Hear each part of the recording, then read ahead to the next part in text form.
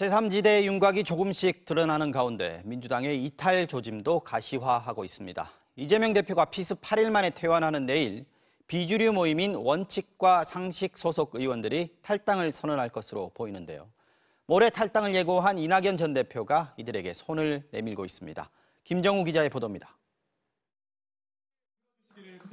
양양자 대표의 출판 기념회가 진행되던 시각 옆 회의실에서는 민주당 비주류 4인방 모임인 원칙과 상식 소속 조응천 의원의 북콘서트가 열렸습니다. 여기에도 참석한 이준석, 이낙연 두 여야 전직 대표 앞에서 조 의원은 작심 발언을 쏟아냈습니다. 당내에 다양한 목소리가 말살되고 말았습니다. 이런 강성 팬덤이 단이, 단합이다.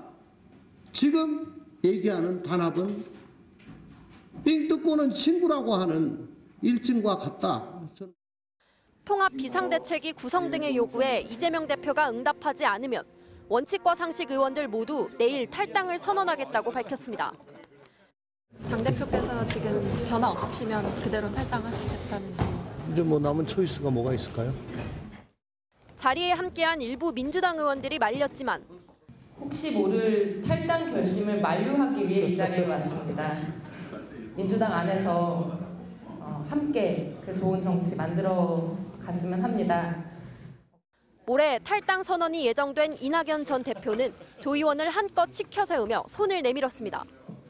이 국면 그리고 향후의 대한민국 정치를 위해서 저는 기꺼이 조홍천 의원의 지도를 받기로 결심했습니다.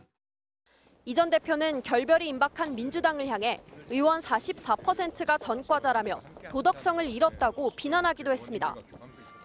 그러나 대부분 민주화운동 전력 때문이란 반발이 당내에서 터져나왔습니다. 민주화운동, 노동운동의 예, 그런 많은 희생의 대가로 여기까지 온 건 아니겠습니까? 꽃길만 걸어오신 분이에요. 실제로 경실련은 지난해 7월 기준 민주당 의원 중 일반 범죄 전과자는 16%, 국민의힘은 19%라고 밝혔습니다. 논란이 커지자 이낙연 전 대표는 예나 지금이나 민주화 영웅들의 희생을 높이 평가한다며 사과했습니다.